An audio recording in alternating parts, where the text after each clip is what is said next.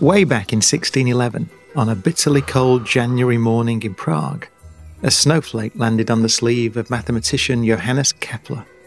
And it got him thinking why do snowflakes have six sides? Kepler's breakthrough was his theory that this hexagonal pattern is the most efficient use of space. Whether it's a honeycomb within a beehive, or piles of stacked cannonballs, or a delicate, transient snowflake.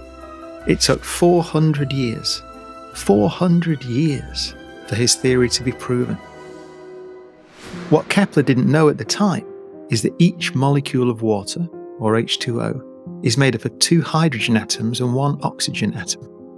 As the water molecules cluster together when they freeze, the angle between the hydrogen atoms is always approximately 105 degrees and that gives us the six sides. At its heart, a snowflake is always a hexagon, but it can grow into all sorts of weird and wonderful shapes. Long and thin like a pencil, sharp like a needle, cylindrical like a bullet, or just occasionally triangular. The truth is, though, most snowflakes are kind of, well, blob like